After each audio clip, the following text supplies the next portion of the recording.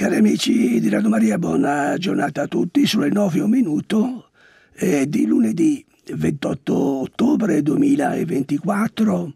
Pace e gioia a tutti voi, cari amici in ascolto, e che la luce della parola di Dio guidi i nostri passi nel corso di questa giornata sulla via della verità, del bene e sulla via della pace.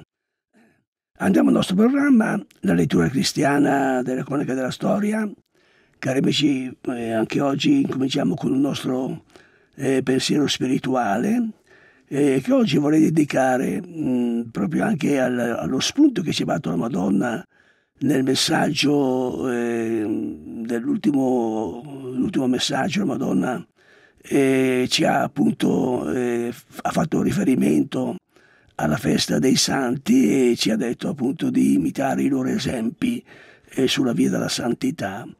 Allora, eh, prendo questo spunto, cari amici, per eh, fare una riflessione con voi sull'importanza del buon esempio nella vita, cioè sull'importanza che ha il buon esempio sulla vita degli altri. E questo è un dato, diciamo così, che noi conosciamo per la nostra esperienza, però anche, fa parte della cultura mondiale, la cultura dei popoli. Infatti uno dei detti proprio anche dei pagani eh, dice proprio exempla traunt, cioè gli esempi trascinano, no?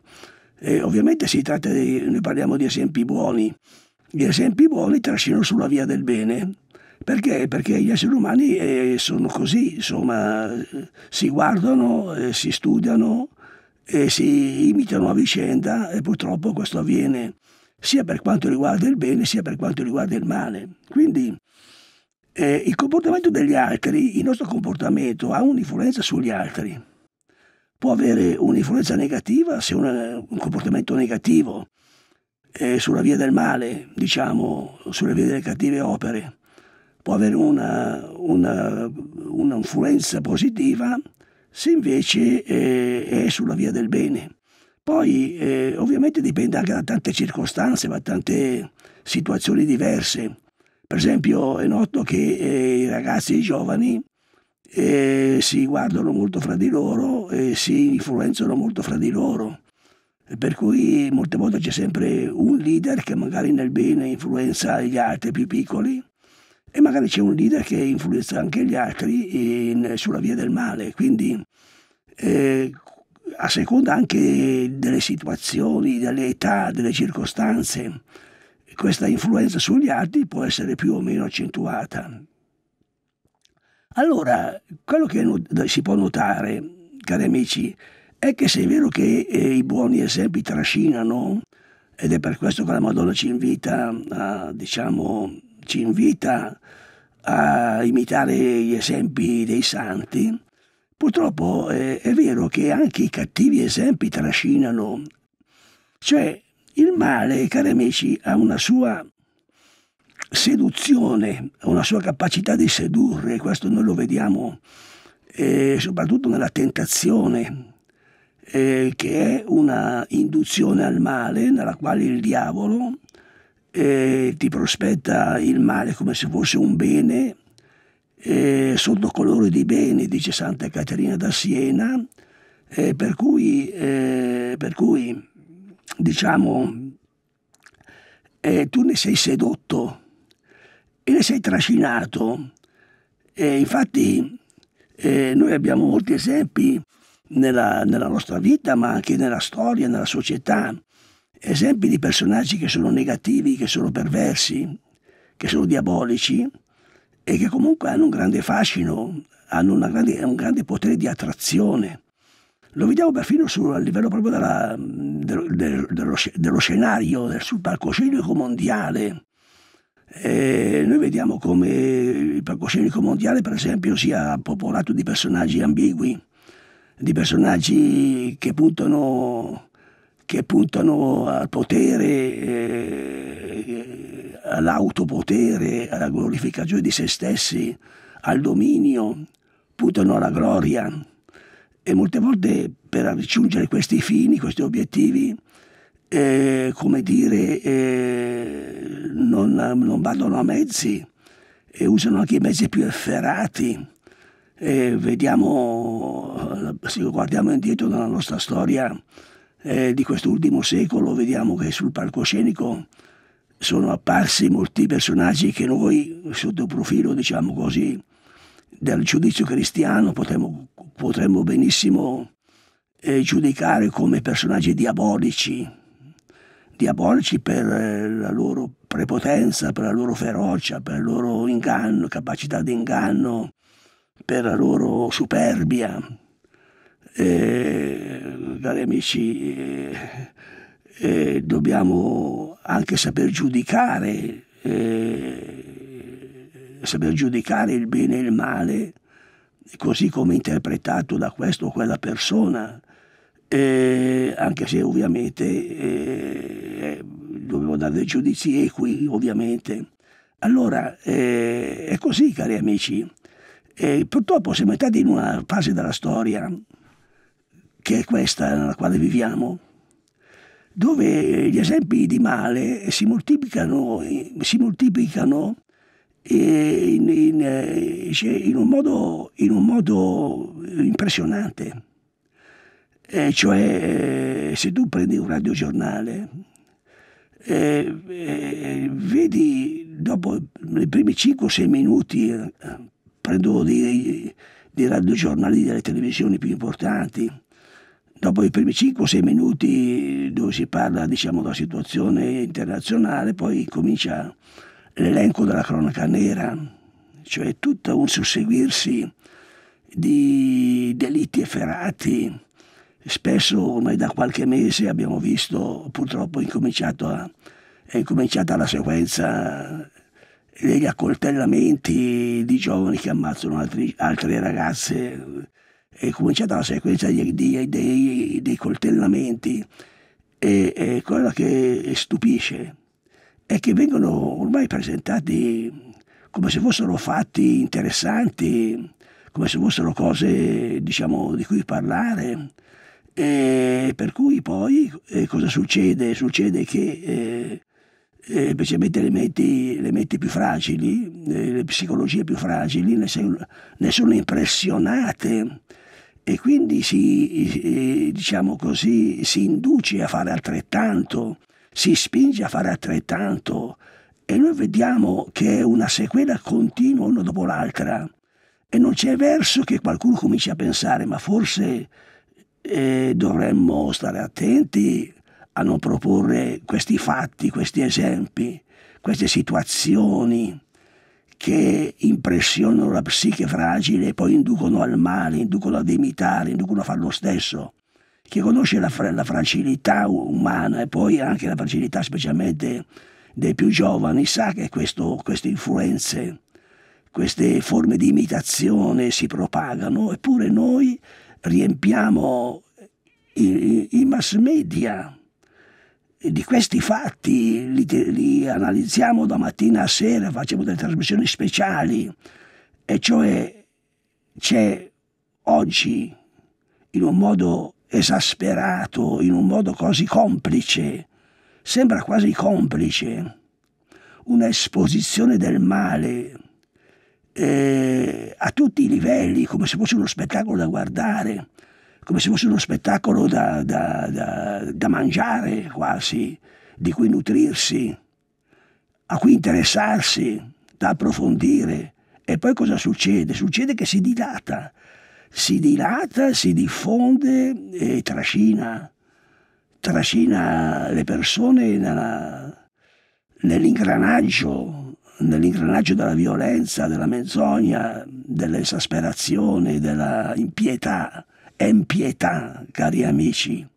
Per cui tu vedi dei personaggi, dei personaggi che sono dei perfetti diavoli, espongono il male come se fosse qualcosa che loro sono riusciti a realizzare, con una freddezza impressionante, ma è, una, è una, un panorama vastissimo,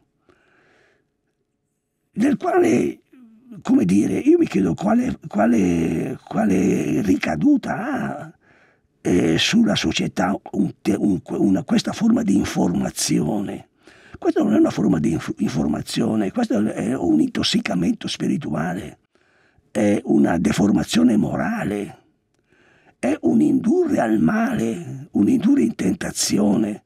Bisogna mettere freno, cari amici.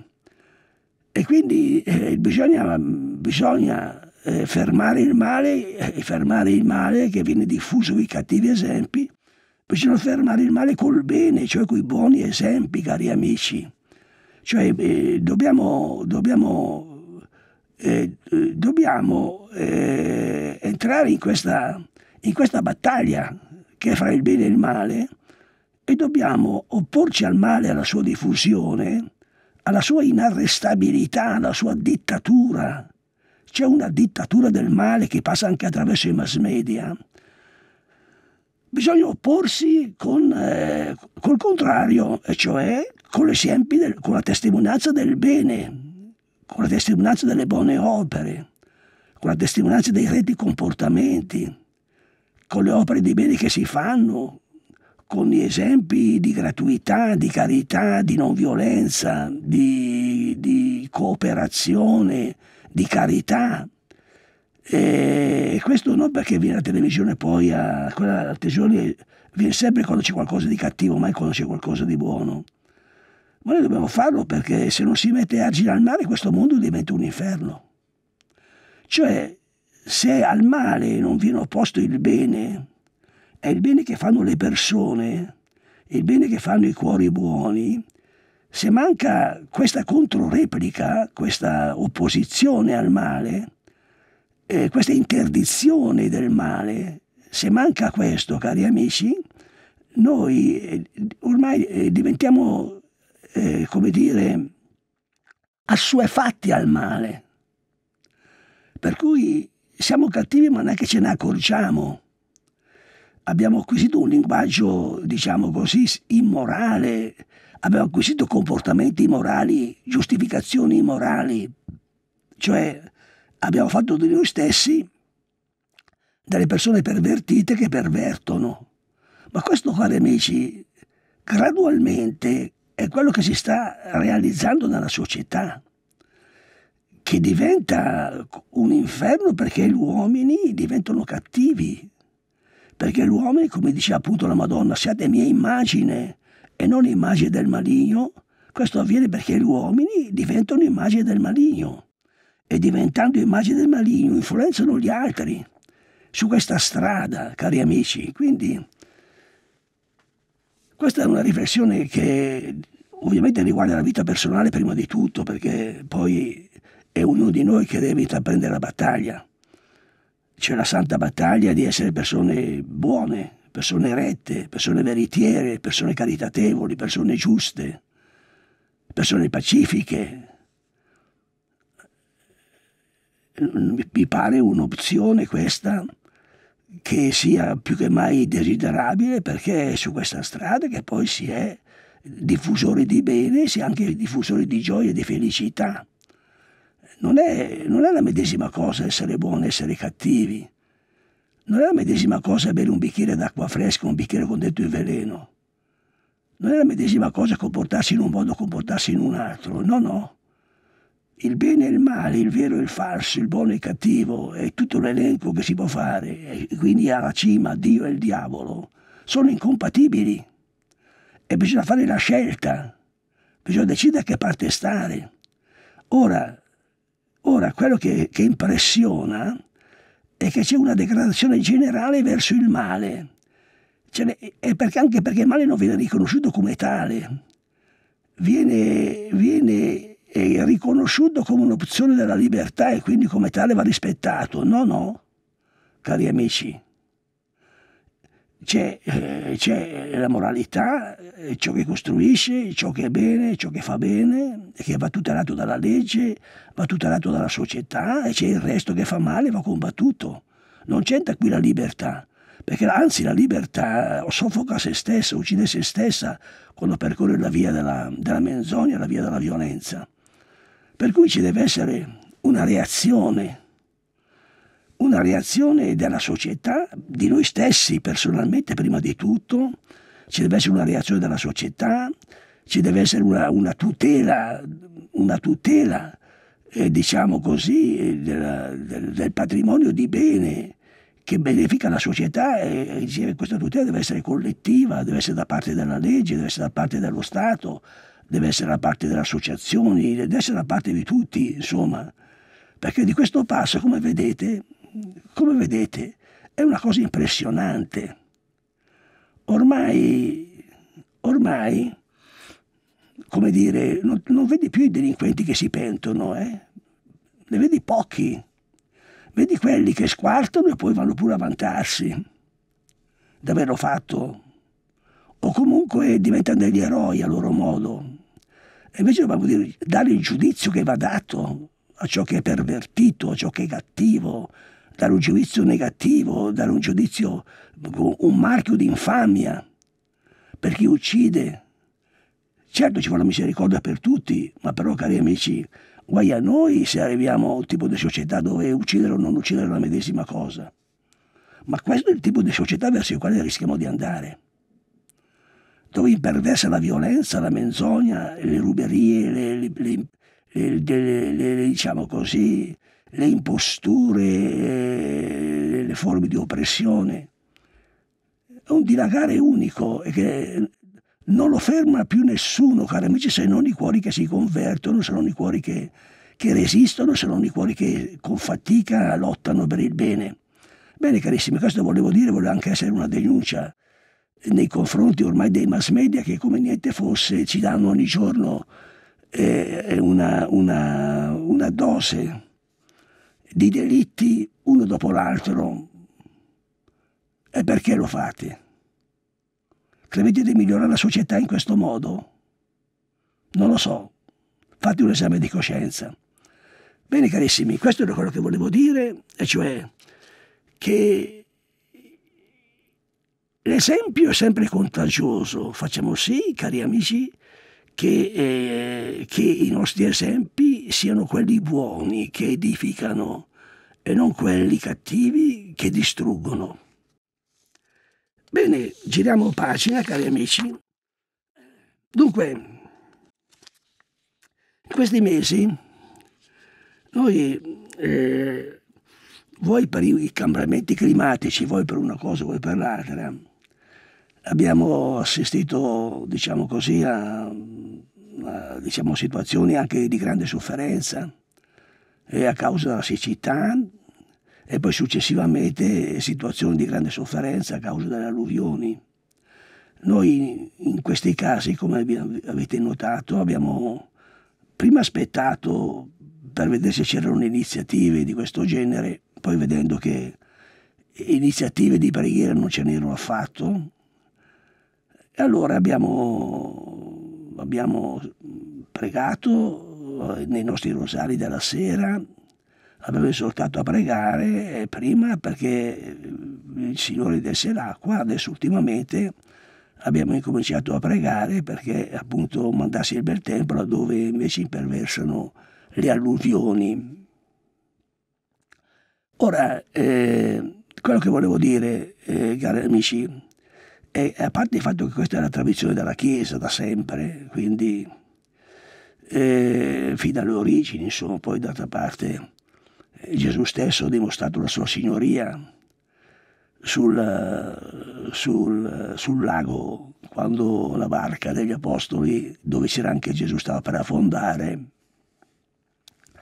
Gli apostoli si sono rivolti a lui Signore salvaci ha detto, hanno detto Signore salvaci e Gesù li ha rimproverati per la mancanza di fede perché appunto dovevano sapere che essendo Gesù sulla barca non sarebbe affondata, però diciamo beata questa mancanza di fede perché ha permesso a Gesù di mostrare la sua signoria sulla natura, cioè ha plecato, ha fermato le onde, è tornato la bonaccia, si è fermato il vento, è tornata la bonaccia. Allora, prendo lo spunto da questo fatto perché, per dimostrare una grande verità della teodicea, cioè della teologia, della teologia che riguarda appunto l'onnipotenza divina, cioè che Dio non solo crea il mondo, ma lo governa con sapienza e con bontà e quindi quella che noi chiamiamo provvidenza divina, in realtà è il governo di Dio del mondo. Dio governa il mondo attraverso la natura, ma lo governa in un modo tale da eh, far sì che, che, il tutto converga verso il fine che Dio eh, si prefigge con la creazione, che poi è la beatitudine delle creature. Allora, mh, allora non c'è dubbio, cari amici, che eh, nella teologia cattolica e quindi nella fede cattolica eh, noi crediamo che Dio governa il mondo e crediamo che Dio abbia potere sulle leggi della natura, crediamo che Dio possa anche sospendere le leggi della natura. Per esempio non c'è dubbio che quando ha moltiplicato i panni e i pesci ha sospeso le leggi della natura, per dirne una, no? E questo eh, ce l'ha anche ricordato la Madonna in uno dei suoi messaggi che ha detto che con la preghiera e col digiuno si possono fermare le guerre e anche sospendere le leggi naturali. Non è che lo facciamo noi, lo fa Dio. Quindi, cari amici, si parte da un principio teologico molto preciso, e cioè che eh, Dio governa il mondo e quindi noi eh, possiamo pregare, pregare perché Dio mandi la pioggia in momenti di, di siccità. Questo è teologicamente fondato, teologicamente eh, auspicabile, e sempre la Chiesa l'ha fatto, già dal tempo degli Apostoli ha fatto questo, insomma. Eh, perché? Perché noi crediamo che Dio ha creato il mondo e che Dio lo governa, e che Dio esiste e che Dio non dorme, insomma. E la medesima cosa, cari amici, quindi preghiamo perché nel tempo di siccità piova, è perché nel tempo di alluvioni Dio mandi il bel tempo. Perché secondo voi Dio deve fare qualche fila, qualche ufficio statale per ottenere il permesso di fare qualche miracolo? Dio fa i miracoli come e quando vuole. Gli basta, a Dio basta la fede dei fedeli. Se Dio ha la fede dei fedeli interviene e fa i miracoli. D'altra parte, cari amici, dobbiamo fare gli elenchi gli elenchi che possono essere lunghi chilometri e chilometri di miracoli che Dio ha fatto, di ogni genere e specie riguardo alla natura, riguardo alle guarigioni, resurrezione dei morti, anche da parte di, non soltanto da parte di Gesù, ma anche da parte degli apostoli, tanti, marti, tanti santi, cioè resurrezione dei morti, guarigioni, di ogni genere e specie, eh, sospensione delle leggi della natura, e una volta nei santuari c'erano tutti i quadretti con tutti i miracoli fatti, perché allora c'era la vista, la vista spirituale con la quale si vedeva il miracolo. Adesso siamo accecati e non lo vediamo neanche più, neanche quando Dio ce lo dà non lo vediamo. Allora, cari amici, la fede ci dice che Dio fa i miracoli. E fra questi miracoli c'è anche quello di mandare l'acqua quando eh, c'è la siccità, se lo chiediamo con fede, c'è anche quello di placare i venti e il mare, i venti e diciamo le onde del mare e quelle dei fiumi, in caso di eh, esondazioni come vediamo in questi giorni. Per cui dovrebbe essere normale che la Chiesa, secondo la sua tradizione, esorti i fedeli alla preghiera e quindi doveva essere normale la preghiera per queste calamità e come no? Dalla peste, dalla fame, dalla guerra, dal terremoto, salvaci, liberaci, oh Signore, ma ce le ricordiamo queste cose, queste preghiere o non ce le ricordiamo? Allora è, come dire, normale, nella luce della fede, pregare per il pane quotidiano, quindi per la vita quotidiana, per la nostra salute, quante guarigioni abbiamo da parte, da parte del Signore, senza bisogno di medici, e quanti benefici Dio ci manda eh, attraverso le opere della natura. Quindi eh, questa è la visione di fede che noi abbiamo, diciamo, nella, dalla teologia della creazione. Quindi non c'è nessuna superstizione, non c'è nessuna superstizione. Se qualcuno dice che è superstizione, io gli mando il mio libro sul modernismo e gli dico di studiarlo a memoria, che farebbe meglio. Perché questo è il fatto che molti oggi non credono più. Non credo più neanche in Dio, ma non credo più neanche che Dio fa i miracoli, non credo neanche dell'aldilà. E allora, allora scusate, ma cambiate religione che fate meglio.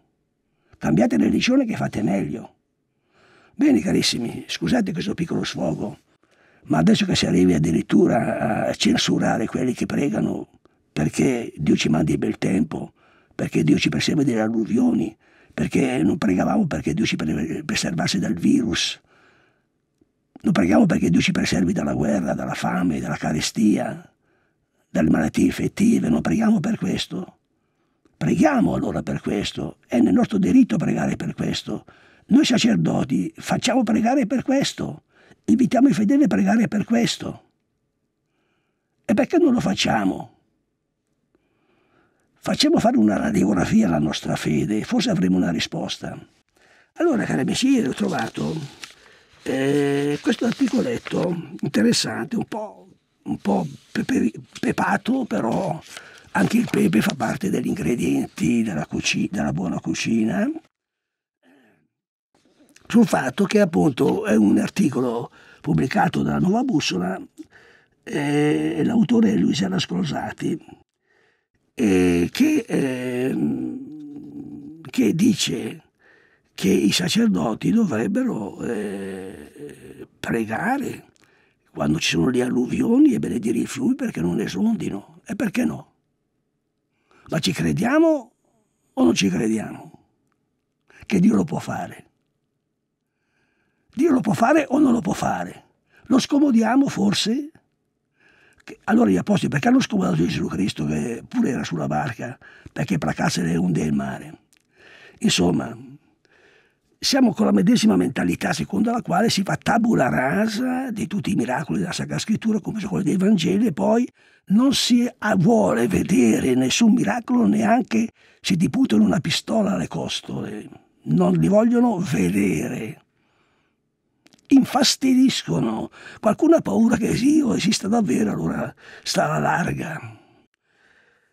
Sono parole che un po' pesantine, ma che riflettono molto bene la realtà di non fede e di incredulità che c'è oggi, che dilaga oggi nel mondo.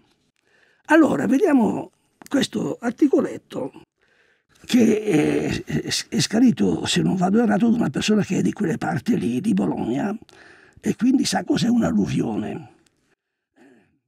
Ancora una volta scrive maggio 2023, settembre 2024, ottobre 2024, l'acqua continua a castigare la nostra regione Emilia-Romagna, accendendo rabbia e sconforto fra famiglie e aziende che hanno di nuovo perso tutto e che anche questa volta hanno falciato una giovane vita. A valle allagamenti riempiono scantinati e taverne, invadono campi e mettono in ginocchio la vita delle città. In collina il fango cola dall'alto e i fiumi esondano in basso, stringendo i paesi in una terribile morsa. In montagne si attivano o riattivano frane e si sbriciolano le strade. Le responsabilità ci sono, perché chi vive qui sa molto bene che dallo scorso anno ad oggi ben poco si è fatto. Si è ricostruita qualche strada, si sono per lo più sgombrate frane, lasciando però il territorio con le sue ferite aperte. Siamo in ginocchio, ma ancora una volta non ci vogliamo inginocchiare. Ancora non vogliamo capire che la nostra vita è fragile e che, per quanto ci sfasciamo la testa con progetti di messa in sicurezza del territorio assolutamente necessari per la nostra vita, però non è mai al sicuro. Si prova una pena infinita nel vedere queste povere persone che nel giro di una manciata di minuti hanno perso tutto. Chi la casa, chi l'azienda agricola, chi i beni da migliaia di euro, senza dimenticare oggetti che tessono la storia di una vita più o meno lunga. Qui a Bologna all'acqua si è aggiunto subito dopo il fuoco, con la terribile esplosione avvenuta alla Toyota Ending di Borgo Panicale, dove nemmeno tre giorni prima si era sfiorata la tragedia per l'allagamento improvviso di un sottopasso allo svincolo della tangenziale. Di fronte a queste tragedie, di fronte alla morte di tre giorni, di tre giovani, si comprende la rabbia, si comprende lo sconcerto, ma dietro l'espressione di morti inaccettabili o di eventi che nel 2024 non devono più capitare, su un modo di dire, no? non si può non riconoscere i, i resti dell'ubriacatura ideologica che ci è stata fatta bere per decenni. Vediamo qual è questa ubriacatura eh, ideologica. Allattati a progresso e scienza, ci viene automatico parlare di ingiustizia di fronte a incidenti e catastrofi e pensare che se si fossero applicati i protocolli, se ci fossero stati controlli più rigidi, se si fosse fatto, stato fatto qualcosa, qualsiasi cosa, il lutto e la tragedia si sarebbero allontanati da noi.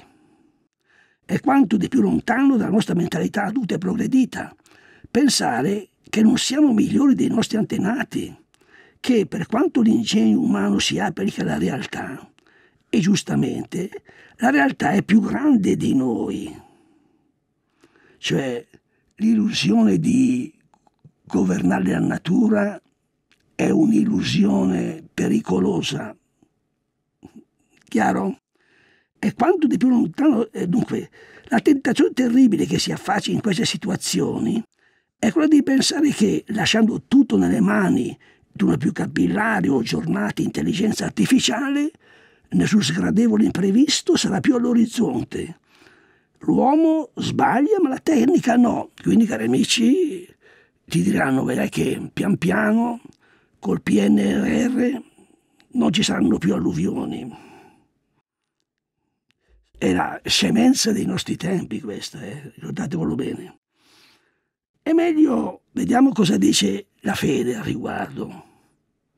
Qui, qui abbiamo visto la mentalità dell'uomo che si mette al posto di Dio e che vuol fare vuol, vuol essere onnipotente come Dio, solo che poi basta un raffreddore per farlo sedere per terra. Vediamo cosa dice il Salmo. È meglio rifugiarsi nel Signore che confidare nell'uomo. È meglio rifugiarsi nel Signore che confidare nei potenti. Salmo 117. Questa è la strada che la parola di Dio ci indica. Quest'altra è quella da cui ci insegna di stare lontani. Maledetto l'uomo che confida nell'uomo, che pone nella, carne il suo sostegno e che, dal Signore che dal Signore allontana il suo cuore. Cioè maledetto l'uomo che confida nell'uomo, che pone nella carne il suo sostegno e dal Signore si allontana il cuore. L'articolo potrebbe finire qui, chiedendo solo al lettore di ripetersi, di ripetersi queste parole all'infinito, perché spezzino tutti i legami dell'ideologia del progresso e lavino via tutti i resti dell'idolatria degli esperti, che albergano in noi più di quanto pensiamo. Ma qualcosa in più dobbiamo dire, perché qualcosa, qualcosa si può e si deve fare. Gesù, se le poche case oneste di questo porco paese, scusate sulle parole di Don Camillo, Gesù, se le poche case oneste di questo porco paese potessero galleggiare come l'acqua di Noè, io vi direi fate gonfiare il fiume che strabocchi, spacchi l'argine e sommerga tutto il paese. È una preghiera di Don Camillo. Eh. Ma siccome la gente onesta vive in case uguali a quelle dei farabutti, e sarebbe ingiusto punire i buoni per la colpa di, questi, di questo peppone e della sua ciurma senza Dio e senza legge, o Dio vi prego di salvare il paese dalle acque e dargli prosperità. Amen. Molti avranno riconosciuto in questa singolare preghiera la benedizione del fiume Po del celebre film Don Camillo e Peppone. Sono scene che non si vedono più, per svariate ragioni. Primo perché i preti non credono più a queste trovate di sapore medievale se ci sono problemi ai fiumi deve vedersela la religione. Che razza di religione preconciliare sarebbe quella che si mette a pregare Dio di impedire ad un fiume di invadere un paese e travolgere delle case? Come può un prete del secondo e terzo millennio pensare di benedire le acque di un fiume perché da questa benedizione siano domati e tornino ad essere docili? Eh, io sono del primo millennio invece. Secondo, perché non ci sono più compagni Bertolone di Peppone e compagnia? E se non ci sono, spiace dirlo, è perché semplicemente non trovano davanti a sé alcuna contrapposizione, alcuna identità chiara, cioè i cattolici sono liquefatti. Oggi non vediamo scene simili semplicemente perché se non vediamo più un prete che benedice il Po, come Peppone, semplicemente perché non c'è più alcuna ideologia che contrapponga compagni e preti, essendo ormai tutti della stessa parte, cioè tutti, diciamo così, eh, lasciatemi, lasciatemi trovare, tutti modernizzati. Terzo, perché, perché per pronunciare una preghiera così, quella di Peppone per calmare il fume Po, e udirla senza gridare allo scandalo, è necessario avere ancora il senso di Dio e del nostro peccato, cioè questo ormai, queste preghiere qui, non si sentono più perché non abbiamo più il senso di Dio e del nostro peccato. È necessario avere la consapevolezza che quanto ci capita ce lo meritiamo, perché abbiamo abbandonato Dio per volgerci agli idoli delle nostre mani. È necessario avere in cuore i sentimenti del timorato di Dio, come Tobi, che dice, che prega, ora Signore, ricordati di me e guardami, non punirmi per i miei peccati e per gli errori miei e dei miei padri. Violando i tuoi comandi abbiamo peccato davanti a te. Tu hai lasciato che ci spogliassero di beni. Ci hai abbandonati alla prigionia, alla morte e ad essere la favola, lo scherno, il disprezzo di tutte le genti, fra le quali ci hai dispersi. Ora nel trattarmi secondo le mie colpe e le colpe dei miei padri, veri sono tutti i tuoi giudizi, perché non abbiamo osservato i tuoi decreti, camminando davanti a te nella verità. E chi non è stato colpito per ora si guarda bene dal pensare di essere meno peccatore degli altri. Come ha detto Gesù, credete che quei Galilei fossero più peccatori di tutti i Galilei per aver subito tale sorte? No, vi dico ma se non vi convertite perirete tutti allo stesso modo. O quei diciotto sopra i quali rovinò la torre di Siloe e li uccise, credete che fossero più colpevoli di tutti gli abitanti di Gerusalemme? Non vi dico, ma se non vi convertite perirete tutti allo stesso modo. Dunque, conclude eh, la signora che ha scritto questo articolo, Luisa Scrosati, Torniamo all'inizio di questo articolo. Se la gente ormai preferisce abbassare gli occhi verso la tecnica piuttosto che alzarli verso il cielo, è perché non c'è più nulla di visibile che ricordi loro Dio. E siccome nell'ottima comune la benedizione è ancora una di quelle cose che mostra la vicinanza di Dio e fa parte del mistero del prete, fra virgolette, non, vedete, non vedere più preti fare il loro mestiere contribuisce potentemente a far sparire Dio dall'orizzonte della vita. Non si vede più un prete dare una benedizione, si direbbe, al di fuori della messa, in pubblico. Dopo un'alluvione gli operai salgono sulle ruspe, i volontari si armano di stivali e pale. Ma perché i preti non fanno il loro mestiere? Perché non tornare a benedire questi fiumi? Perché non erigere come si fa tradizionalmente delle piccole edicole, di solito mariane, a protezione dei paesi dalla furia del fiume? Perché non tornare a pregare pubblicamente le litanie dei santi per domandare a Dio un tempo più mite? Noi Radio Maria lo facciamo regolarmente, cioè quando vediamo che c'è bisogno per la siccità eh, andiamo avanti cominciamo a pregare finché non piove. Adesso stiamo pregando per il bel tempo da una settimana e andremo avanti a pregare finché non ci sia quel bel tempo che dia un po' di sicurezza alle famiglie. Poi la nostra scrittrice, che sia benedetta, lancia una sfida e scrive qui sotto riporto la benedizione contro le inondazioni tratta dal rituale romano antico portate ai vostri sacerdoti, chiedete loro di benedire i fiumi e accompagnateli. Allora vediamo questa benedizione contro le inondazioni. Prima è, prima è in latino, però noi la leggiamo in italiano.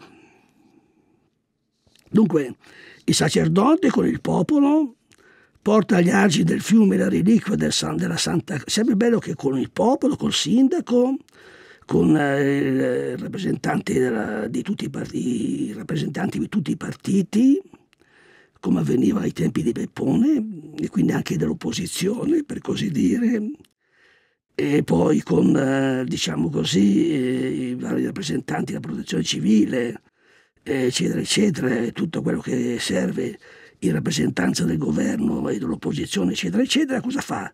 Con il, il popolo quindi tutto il popolo compresi i giornalisti eccetera eccetera porta cosa fa? porta agli arcini del fiume la reliquia della Santa Croce e li legge l'inizio dei quattro e li legge l'inizio dei quattro Vangeli.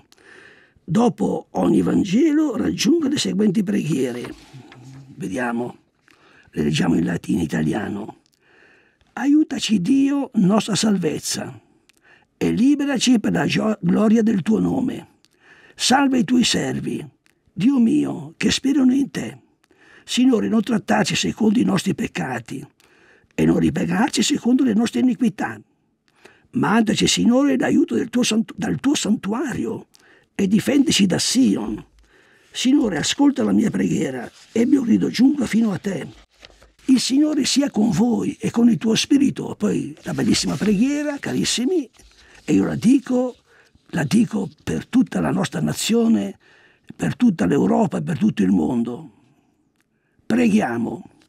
O Dio, che giustifichi l'empio e non vuoi la morte del peccatore. Supplichiamo la tua divina maestà. Proteggi Benigno dai pericoli delle acque, col tuo, soleste, col tuo celeste aiuto, i tuoi servi che in te sperano, e custodiscili con la tua divina protezione, perché servendoti sempre nessuna tentazione li separi da te. Per Cristo nostro Signore. Amen. E poi è la benedizione di Dio Onnipotente, Padre e Figlio e Spirito Santo, discenda su queste acque e le domini. Amen. E le domi. Amen. Bene, carissimi, abbiamo fatto anche noi la preghiera come, come Radio Maria e ovviamente tutti i nostri ascoltatori per tutta l'Italia perché, perché eh, questo tempo eh, diciamo, di inondazioni eh, venga, venga, posta fine a questo tempo di inondazioni e ci dia un, un tempo di bel tempo per tutta l'Italia e che ormai se c'è qualche regione, magari l'Agrigentino dove non c'è ancora abbastanza acqua, li faccia piovere. Scusate, e per qual motivo? Visto che Dio ha creato il mondo e lo governa, per qual motivo noi non dobbiamo avere l'umiltà, la fede e perfino come dire, il coraggio e la gioia eh, di fare questa, di fare, di bussare al, posto di, al cuore di Dio, perché ci faccia sentire la sua presenza e abbia pietà di noi. Ecco, noi abbiamo dato il buon esempio, aspettiamo che i parroci si muovano.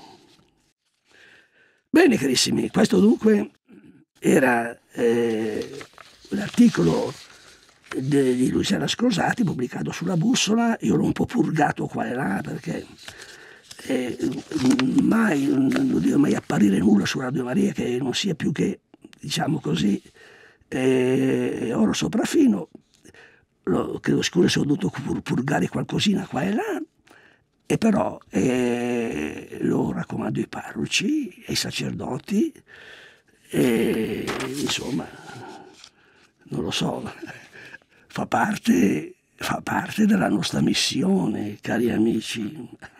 Non so io, eh. Sono cose che la Chiesa ha fatto per duemila anni, cosa c'è di speciale adesso? Siamo forse diventati più intelligenti, ma noi siamo la generazione più imbecille della storia che sta distruggendo il mondo, ma non ve ne siete accorti. Bene carissimi, adesso chiudiamo questa parentesi e andiamo a sì, c'è il tempo per fare il nostro il nostro editorialino. Scusate.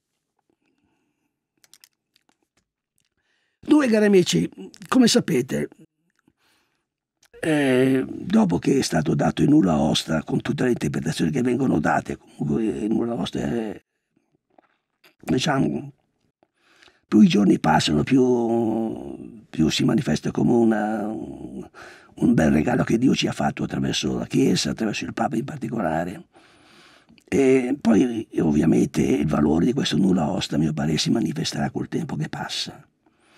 Però non c'è dubbio che eh, quello che deve essere chiaro a tutti, cari amici, è che anche le apparizioni più, eh, diciamo, come quello di Meggiugorje che dura 45 anni, da 43 anni, vanno ai 44, che comunque ha un consenso nella Chiesa molto vasto, eh, di credibilità, di diffusa credibilità, poi anche le persone che hanno creduto e credono nelle apparizioni, sono papi, sono cardinali, sono, cioè, quindi c'è una quoziente ecclesiale altissimo l'apparizione di Meggiugorje, non c'è dubbio, però cari amici alla fin fine e alla fin fine però con il giudizio della Chiesa, quello ufficiale, non quello personale di questo il Papa che crede personalmente, eccetera. Il giudizio della Chiesa è fondamentale, non c'è dubbio al riguardo. E, eh, il giudizio che ha fatto la Chiesa con nulla osta è un giudizio di approvazione parziale, mi sentirei di dire. Cioè la Chiesa ha, diciamo così, eh, ha eh, messo in luce eh, i frutti straordinari di grazia, di conversione, di benefici spirituali, eh, che sono una testimonianza vastissima. E poi la Chiesa, come ha detto qui eh, il dottor Andrea Tornielli, che è il, il, direttore della comunicazione vaticana, l'ha detto qui a Radio Maria e l'ha detto anche sul suo sito internet, eh, ha detto che c'è anche più in un giudizio positivo sull'insieme dei messaggi. Quindi la Chiesa, eh, come dire, ha approvato parzialmente, non ha dato un giudizio sulle apparizioni, cioè sulla soprannaturalità, perché nel suo nuovo regolamento lo riserva soltanto in casi rarissimi e per quanto riguarda Meggiugorje potrebbe essere uno di quei casi, che però è, secondo quanto chiesto dalla Madonna stessa, è rimandato a quando ci sarà il segno sulla montagna. Quindi però, qual è la situazione adesso? La situazione è quella di un riconoscimento parziale, perché vengono riconosciuti, i frutti ed è dato un giudizio sui messaggi, non vengono ancora riconosciute le apparizioni. Questa è la situazione, però anche le apparizioni non sono ufficialmente riconosciute, però ormai da 43 anni i messaggi della Madonna vengono pubblicati sul sito parrocchiale. Quindi, come dire, la Chiesa, essendo questo una, un fenomeno in evoluzione, on work si dice, in evoluzione, eh, aspetta segni inequivocabili come può essere il terzo segreto per dire che la Madonna c'è veramente a Meggiugorje, però non lo esclude neanche. Per cui noi fedeli, io sono fra quei fedeli, eh, possiamo tranquillamente credere alle apparizioni, rimettendoci poi ovviamente al giudizio definitivo che darà la Chiesa. Quindi eh, questa è la situazione. È una situazione nella quale, cari amici, quello che vorrei mettere in evidenza è che il giudizio della Chiesa è fondamentale.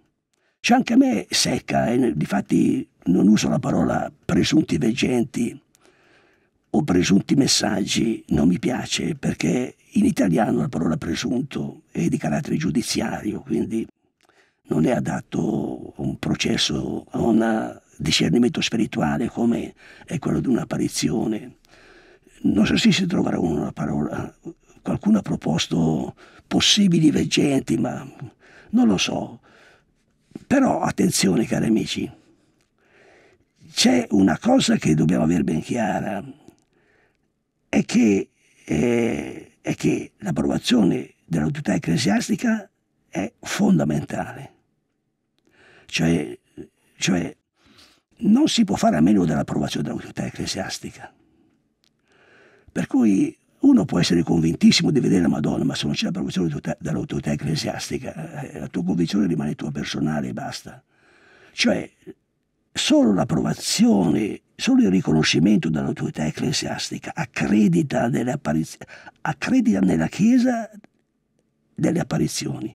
Senza il riconoscimento dell'autorità ecclesiastica non c'è l'accreditamento dell'apparizione nella Chiesa, quindi questo va sottolineato, cioè il, il ruolo fondamentale dell'autorità ecclesiastica. E non c'è niente da fare, quindi grazie per quello che è stato fatto e grazie anche per il fatto che comunque, eh, come è stato detto, eh, il futuro è aperto anche per il riconoscimento della soprannaturalità, ma eh, questo che va detto con molta chiarezza è che senza i riconoscimenti dell'autorità ecclesiastica non ci sono accreditamenti ecclesiali.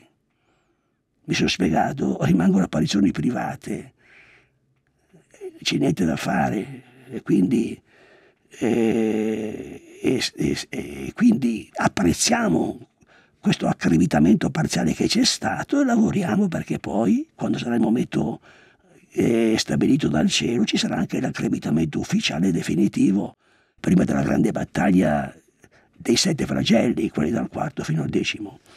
Allora, questo era un chiar- chiarimento che volevo dare, cari amici, e quindi, e quindi io capisco che invece di Meggiugorie avrei preferito un riconoscimento dalle apparizioni, però diciamo possono accontentarsi di quello che è arrivato, insomma, momento non è cosa da poco. Se si tiene conto che è un evento ancora in atto, non è cosa da poco che la, che la Chiesa abbia approvato, i, i messaggi, abbia approvato i frutti e abbia in qualche modo eh, diciamo, dato un giudizio sui messaggi eh, per i beneficenti e questo è un fatto molto, molto importante insomma, che li rende ovviamente eh, diciamo così c'è, c'è, un accreditamento parziale eh, da parte della Chiesa che è preziosissimo e si punterà ad andare avanti in totale obbedienza affidamento alla Chiesa, senza la quale non si va da nessuna parte.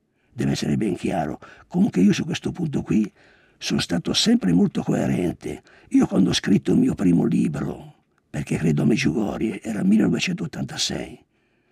Io in quel libro lì, se non vado errato, era quel libro lì, ho scritto che avevo auspicato per Meggiugorie un delegato pontificio sono il primo in assoluto a manifestare l'importanza che su un fatto così eclatante come l'apparizione di un paese dell'est ci fosse già una, una, scesa in campo della Chiesa. Già allora io proposi questo, pensate voi quanto tempo è passato poi. Bene, adesso quello che volevo dire oggi, cari amici, cioè noi adesso dobbiamo cercare di, eh, lo ritengo un mio compito particolare, eh, un mio compito particolare, poi non so se sarò all'altezza della situazione, che Dio mi aiuti, aiutatemi anche con la vostra preghiera ovviamente. Eh, non ho pretese di essere infallibile, lo sapete. Eh, però comunque eh, noi dobbiamo adesso camminare con la Chiesa e dobbiamo comunque eh, cercare di capire il piano della Madonna e cercare di aiutarla a realizzarlo, insomma. E per cui eh, anche io mi sforzerò, man mano che andiamo avanti, di chiarire sempre, chiarire meglio le situazioni, la situazione nella quale ci troviamo, perché, perché la maggior parte del pubblico, nonostante ci sia Radio Maria che parla, però non è che tutti ascoltano Radio Maria, e il pubblico è vastissimo, e, e non tutti hanno una formazione qualificata.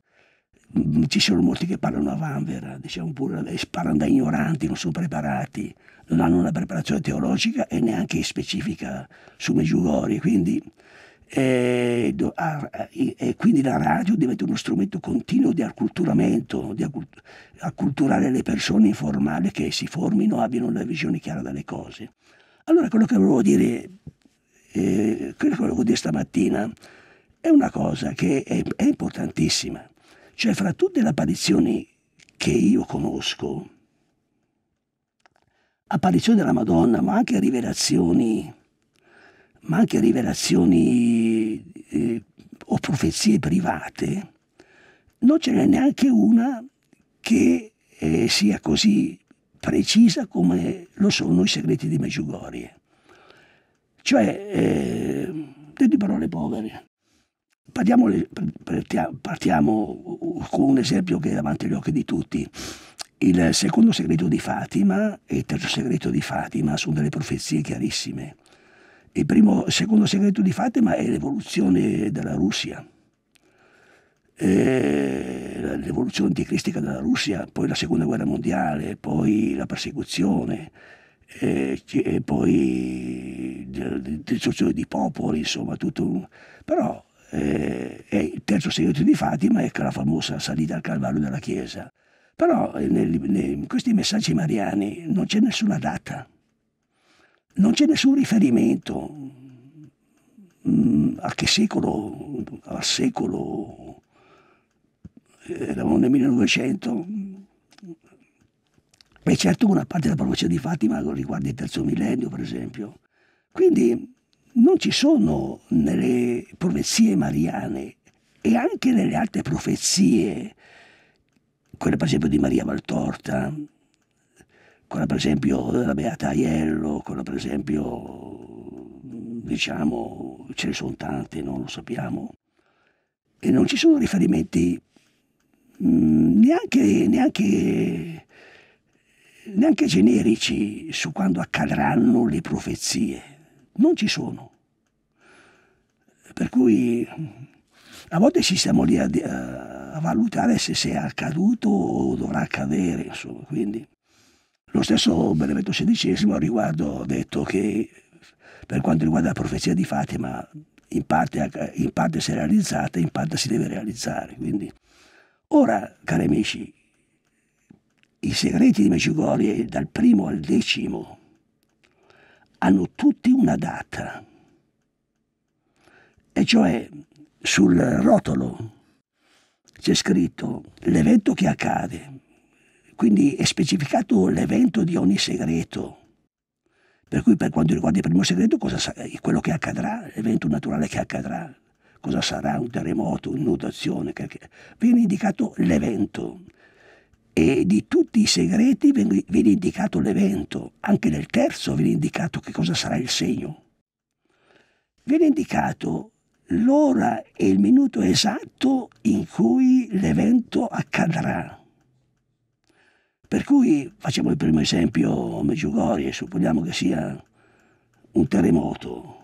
Facciamo un esempio di un terremoto che spaventa di meno perché uno magari pensa ad andare sotto il tavolo e si salva. Ebbene, cari amici, vendicato, vendicato non solo il giorno, ma anche l'ora e il minuto e quanto durerà l'evento. E questo di ogni segreto, di ogni evento, di ogni segreto verrà indicato l'ora e il minuto e quanto durerà l'evento. Cari amici, e quindi questo vale per tutti i dieci segreti di Meggiugorie. E i veggenti, eh, tutti salvo Maria che dice che non sa quando accadrà il terzo segreto che è il segno sulla montagna e specifica anche che lei sente nessun desiderio di chiederlo agli altri, tutti conoscono, tutti conoscono gli eventi dei segreti, almeno i principali, dice Visca, perché qualcheduno, anche, qualcheduno ha anche eh, qualche segreto personale, mi pare Ivan abbia qualche segreto personale, però gli eventi principali dei segreti di Civisca sono uguali per tutti, dice lei. Io penso che siano uguali per tutti, tutti conoscono il giorno, l'ora, il minuto e quanto dureranno. Ora noi ci chiediamo, cari amici, per quale motivo la Madonna è così esatta? A mio avviso il motivo è questo. E cioè quando uno vede preannunciato tre giorni prima che evento accade, l'ora, il giorno in cui accade, l'ora in cui accade, il minuto in cui accade, quanto tempo dura, di fronte a una profezia così particolareggiata non potrà certamente dire che è avvenuto per caso, che questa profezia è stata individuata per caso. La profezia appare in tutta la sua forza, cioè è Dio che ha voluto quell'evento in quell'ora, in quel minuto, ha avuto quell'evento, in quell'ora, in quel minuto ha avuto che durasse tot tempo.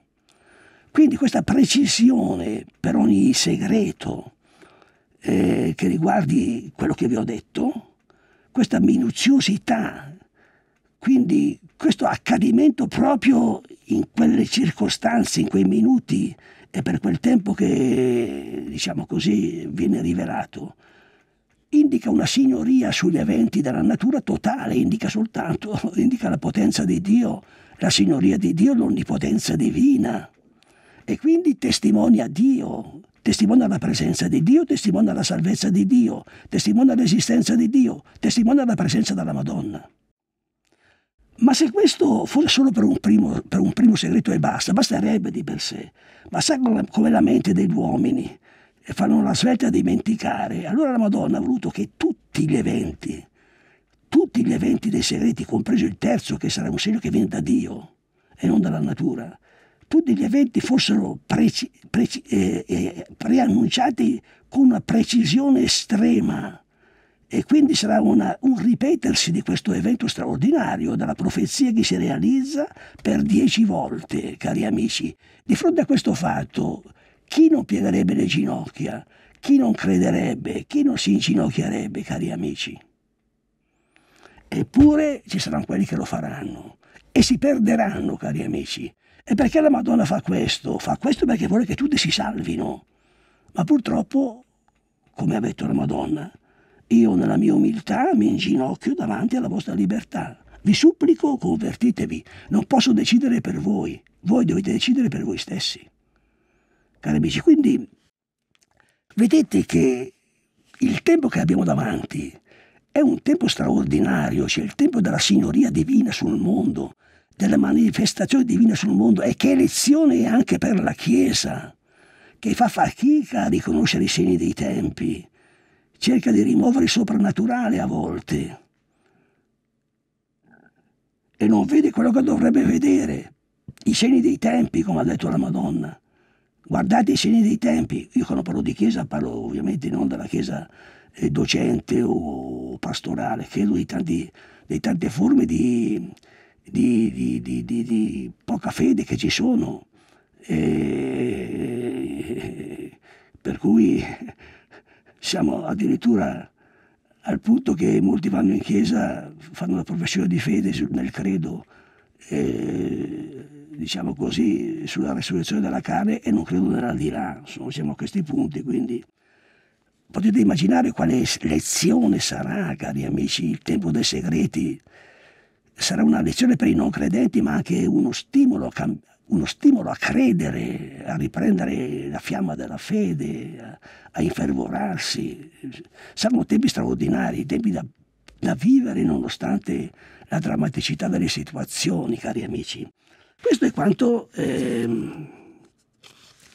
è quanto volevo, dire, volevo dire, volevo mettere eh, in luce, e cioè eh, il tempo dei segreti sarà proprio per la precisione con cui la Madonna rivelerà tutto, sarà una sfida all'incredulità.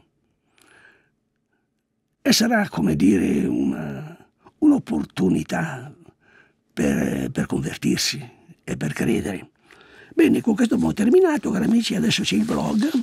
Il blog eh, c'è una, una lettera di Giuse che mi fa eh, il bilancio di com'è la situazione attuale a Meggiugorie eh, cioè eh, per, praticamente c'è, solo Maria che ha le apparizioni perché di Visca si sono perse le tracce. Ivan è tornato negli Stati Uniti, mi chiede, mi chiede Giussi, ma padre Livio non sembra che ci sia, una, ci sia un rimissionamento eh, forse troppo, troppo visibile delle apparizioni in questo momento, in pratica c'è un solo veggente. Vediamo cosa rispondo io al riguardo, cari amici. E cioè rispondo che la Madonna ha tutto in mano e che nel tempo dei segreti, cari amici, tutte e sei veggenti saranno in campo e come altro che.